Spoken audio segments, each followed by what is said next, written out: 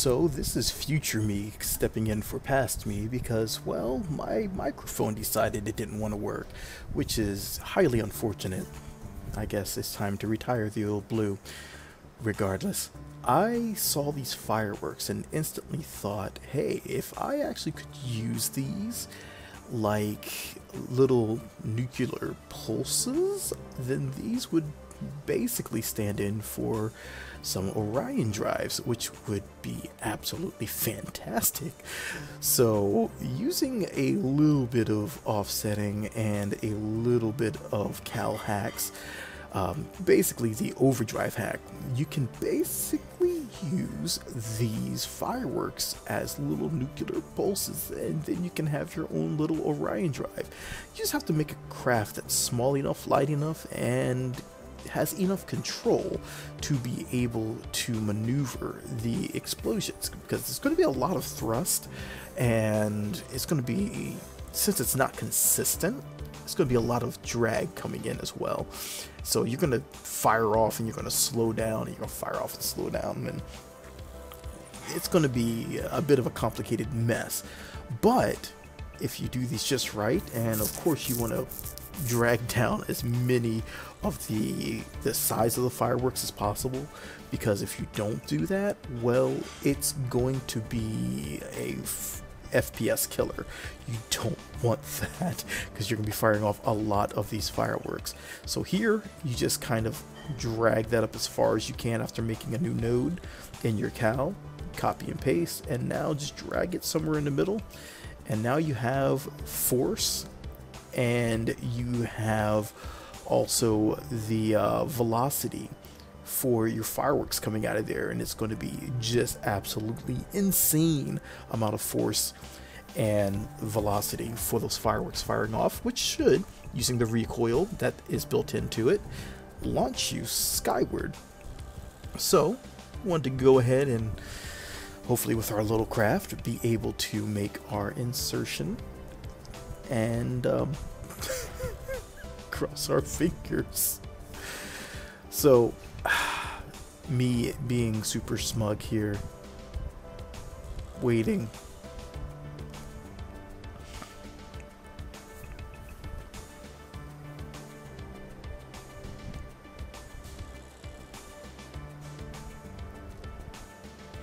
So here we are, we're ready. We're ready for our first test run. Let's fire them on off and see what happens here. And off the ground it goes. Quickly off the ground. But you can see it quickly also hits that drag force and slows down significantly.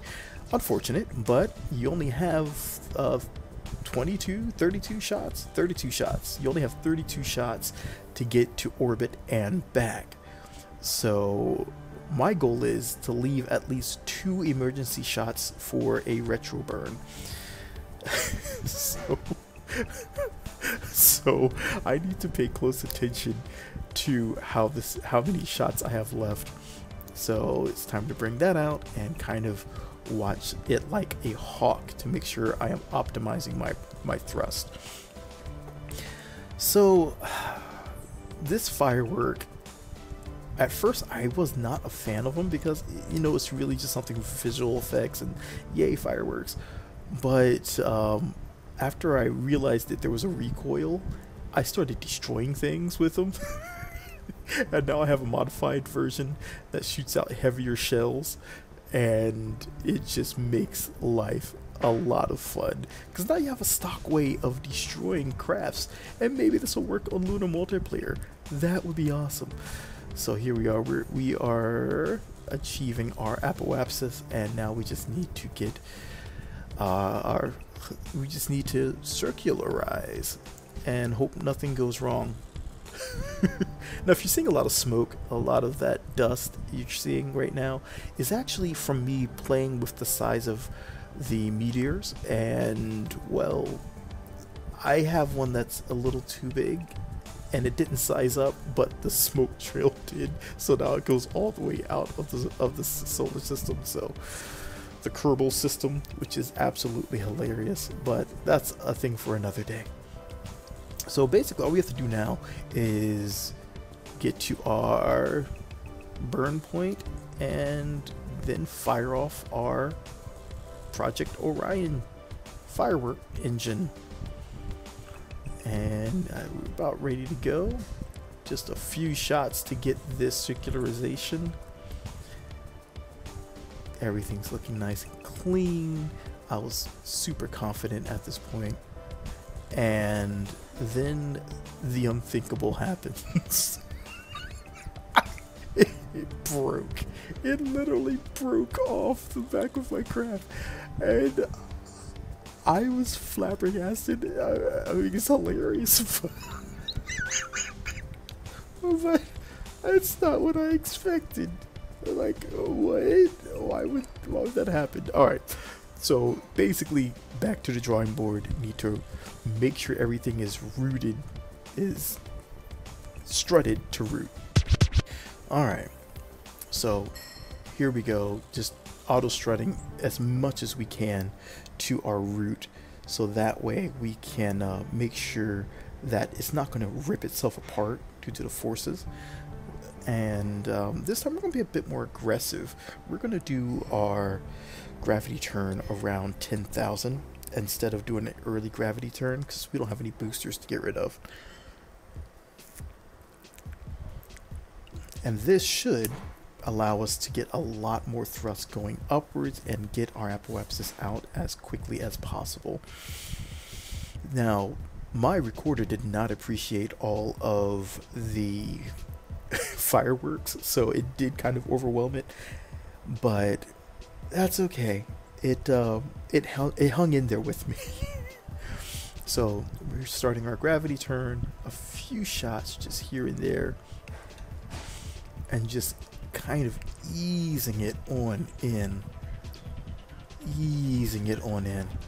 And this doesn't take too much to actually get into a proper orbit. Once you get your apoapsis set, you basically only need uh, about two to three shots, really, on estimate, to get into a proper orbit. Well, proper orbit. It's going to be a hideous orbit, uh, but an orbit nonetheless. So what we need to do here, I'm just kind of making sure that things aren't going to blow apart. I'm still extremely nervous. but our goal right now is uh, basically all we need to do is get to our apoapsis a few seconds out, maybe 10 seconds out, um, maybe a little less, and from there, pop off two to three shots, and hopefully that will be enough to get our orbit. It makes me a little nervous, but things should always work out if you plan. And there's one, two, three, four, five, six, and seven. Alright, so three, maybe not three, but seven. Seven, seven did the trick, and with two shots in reserve, gives us a nice hideous orbit, but it, it works. So all we have to do now, pick it to our periapsis, and then retro burn. Now, this is why I'm kind of glad my periapsis is so hideous, is because it uh, it allows me for it allows for an easier burn in. I mean, I could not imagine if I actually had my apoapsis at the same as my periapsis. That would have just been horrible. I definitely would have run out of would have run out of fireworks. I have no clue what I was saying right there either, because um, I can't read my own lips very well. If you can figure it out, let me know, because I'm still upset my mic didn't work. I have no clue why that happened. Alright, and there's your one shot to get your to do your insertion and there is a base since I have Kerbin Side installed so there's a base right there nearby for an easy pickup so we're just gonna go ahead and warp and do our intro insertion. Now, one thing I realized, I put my heat shield I've uh, on the front to protect me from four launches, but I forgot a heat shield on the back to protect me from this insertion here. So yes, it's nice and beautiful, and then all of a sudden I'm like, oh my god, I forgot my heat shield. so what I hope what would happen is I could fire off my last firework, and at the same time, those four firework, uh, those four firework dispersal units would actually pop first, and now that two of them popped, I can fire off my last one, and then the last two pop off. and so basically, I'm on my own.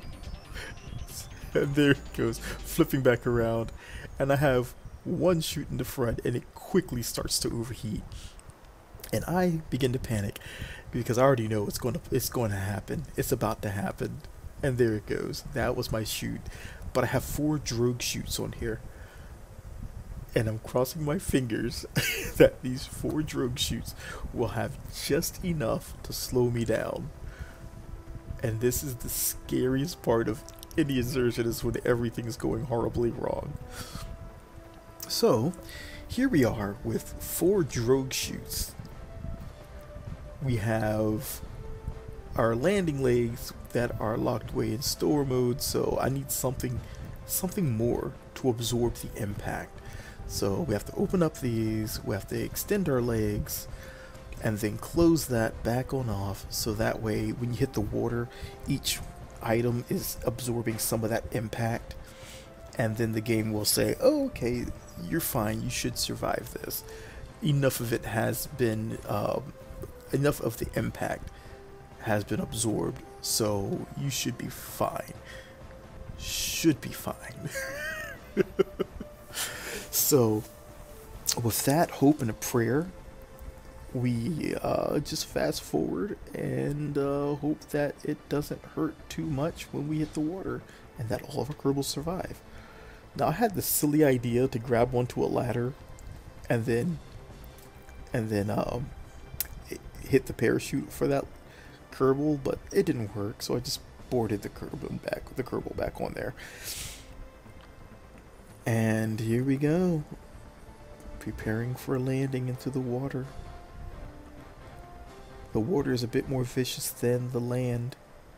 So here we go, and a little spin to break off a little bit extra, and it works perfectly.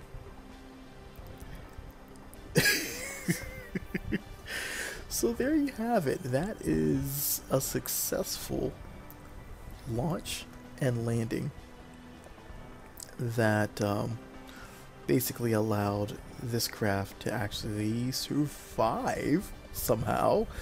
And we could have lost a satellite or what have you, but yeah, we'll take it for now. But some of the things I was saying here, I do kind of remember um, I wanted to thank Squad and I wanted to thank Private Division once again for you know taking Zen, uh, allowing Zen and I to go out to Seattle. It was absolutely fantastic, and this allowed us to you know really get to travel and see a place that we really didn't think we'd ever get to see anytime soon. And we got to actually visit places like uh, there's a, a park uh, to Rizal and that's like a Filipino, uh, like a Filipino hero, which is really, really freaking awesome that they have that over in Seattle. And uh, yeah, it was just absolutely amazing. So, yes, once again, thank you, squad. It's been a long, long time that we've been I've been playing this game. A lot of videos. if you haven't watched them all, so a lot of the earlier ones were really cringy, but I still want to, you know, go watch them, see what happens. Some of them may catch your fancy.